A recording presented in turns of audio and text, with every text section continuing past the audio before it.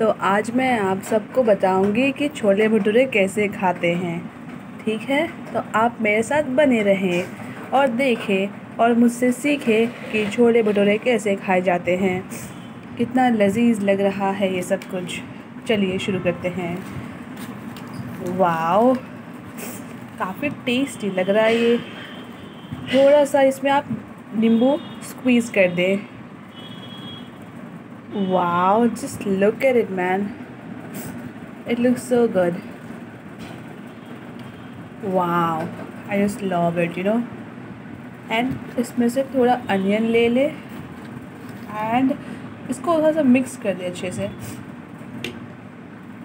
या wow just see the thickness just see how tasty it looks wow amazing